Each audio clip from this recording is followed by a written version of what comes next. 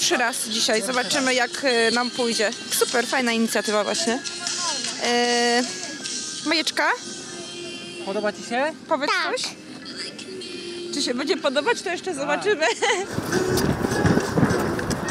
Bardzo fajnie, że takie miejsce jest w Koninie. Dla dzieci i dla dorosłych jak najbardziej. Nie trzeba daleko jeździć, bo zawsze musieliśmy do Kalisza dojeżdżać, nie? A tak to mamy tutaj na miejscu, także super. Fajnie, fajnie, tylko trochę zimno. Mnie dziewczyna namówiła. Zmusiła mnie do tego. Jak ktoś umie jeździć i lubi, no to dlaczego nie? Coś tak dla dzieci, żeby jakaś rozrywka była nie tylko przed komputerami, ale coś tak dla zdrowia.